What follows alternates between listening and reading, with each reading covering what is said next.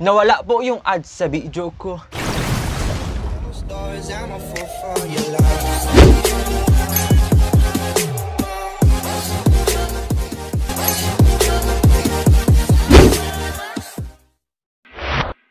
Hey guys, what's up and welcome back to my channel. And if you're still new to my channel, I do some product review, vlog tutorials, and etc. Alabangkin mal. So ngayon guys, may i-share po ako sa inyo. Kahit wala kayong pakaalam. Um, it's a very very bad news po. Nawala po yung ads sa video ko. Ang sakit guys. Ang sakit. Mas masakit pa talaga to sa breakup. Char. Breakout. Char. So may nag-message sa akin guys, sabi niya dito, Your channel is no longer eligible to monetize. Nagsakit. Why? After reviewing your application, we found that your channel doesn't follow all of YouTube's monetization policies. Our reviewers found that your channel contains the following. Reused content, sabi dito. But before I continue, I am gonna be sharing you guys kung paano ba ma-monetize yung channel mo. So, may requirements si YouTube. Kailangan mo Nagpo-poke yung wires, guys. Kailangan mo ng 1,000 subscribers, tapos 4,000 public watch hour.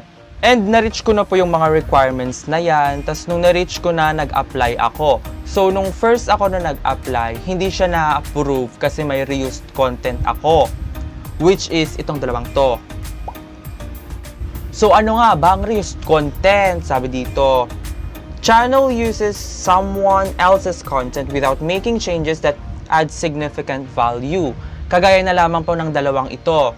So, violation na yon kaya hindi ako natanggap kasi ni-reuse ko. Inusar ko ulit. Gets mo, sis? Reuse. So, nung first application ko guys, hindi siya na-approve. Kaya naghintay na naman ako ng 30 days para ano, ma- ma-edit ko yung channel ko para tanggalin ko yung mga reused content. O, di ba?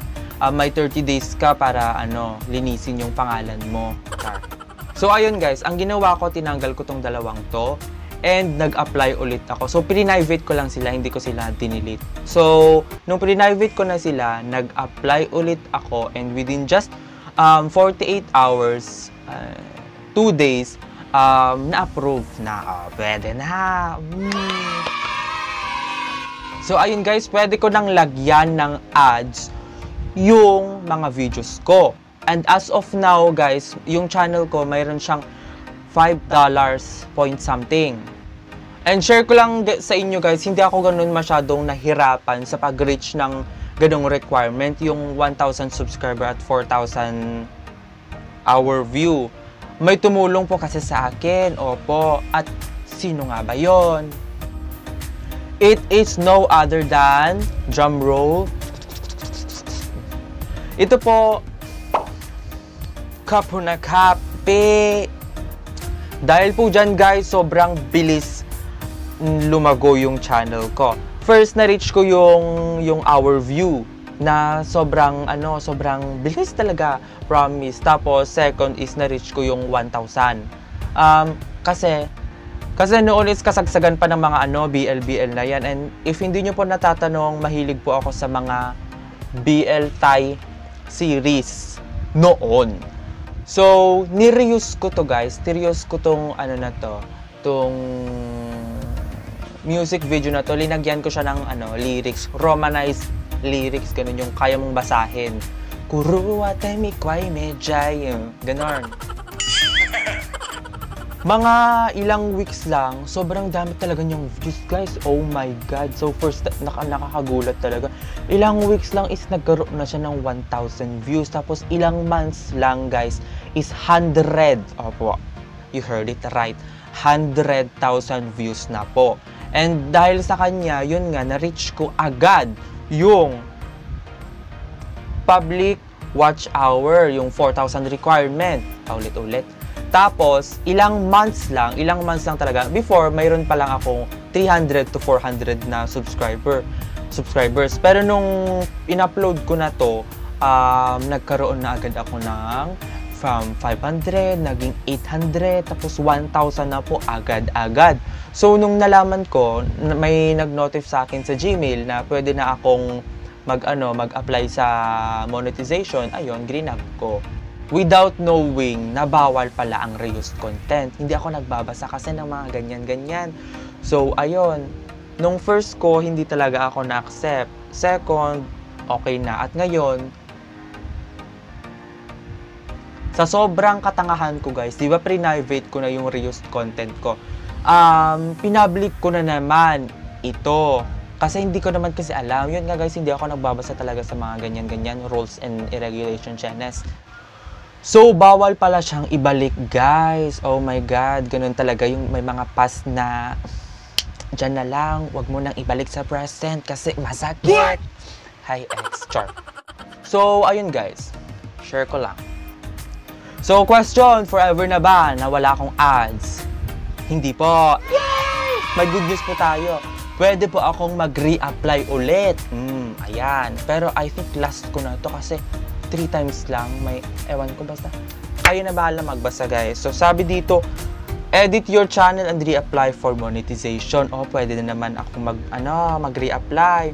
Pero yun nga guys, may 30 days na naman. So, magre-reapply ako sa February 13. And ngayon, baka i-delete ko na permanently si, ano, si Sawadi Cap. Mm-mm, goodbye. Para hindi ko na siya maano, ma-public na naman, tas mag-cost na naman ako ng violation, baka tanggalin na ako ni Google permanently. So, sa mga BL Thai series dyan, i-save nyo na to. I-delete ko na siya soon. So, yun guys, may 30 days pa ako para itama yung mga mali ko. Sana all binibigyan ng chance. Yung iba kasi dyan, nagkamali ka lang. Hmm, ayaw ka na agad. Wow. So, yun guys. May chance pa tayo para bumalik yung mga ads natin para magkapira na naman tayo. Kasi $5 pa lang yung nandun sa channel ko. I-convert mo yun sa pesos, um, 5 times kayo na mag-calculate, bobo ako sa math. Like, mali ko ba kung magkano yung palitan ngayon? Anyways, sa mga aspiring vloggers out there, ah, sa mga gustong mag-vlog, um, kung gusto nyo guys, pwede po kayo, pwede ko po kayong tulungan. Um, i-add nyo lang po ako sa mga social medias ko. Um, I'm gonna be linking the, my accounts below. Um, sa Facebook nyo na lang po ako i-message.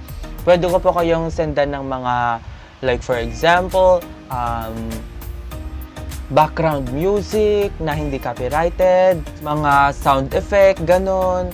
Um, isasend ko po sa inyo yung mga yon Kahit na hindi po ako magaling mag-vlog or mag-edit and anything, magtulungan po tayo po, no? Um, sayang din po yung mga ano, like, yung pera na nakukuha natin dito. Like, sa akin is $5. Baka sa'yo, pag nag-start ka, maging $500 agad. O, di ba? Mm, gusto mo yan? Ah, dahil sa YouTube, nagka-copyright ka, di ba? Ang daming YouTuber ngayon, kahit ang ano yung mga content nila. Char. Um, ayun. Pwedeng gawing business si YouTube kasi ang, ang laki ng binibigay ni YouTube. No! And I guess that's it for today. I I guess I already said everything that I want to say. And let's call it a day. And I hope you enjoyed watching as much as I enjoyed making it. Kahit sobrang boring nito. So, yun guys. Salamat! Sawadee Kap! And pag may suggestion kayo guys or gusto nyong um, you know, itanong tapos mga i-review, ganun din sa mga gaya ko dyan. Madaming cookies sa mukha. Uh, ayan, oh, mm, oh, nawawala na sila. Mag-suggest naman kayo guys ng ano, ng product na pwede nating i-review. Wala pa nagko-comment sa channel ko kahit isa. Nagkakaloka. Ang dami kong talang, Diyos ko. Bye na nga guys! And stay single and fresh. Bye guys! I love you!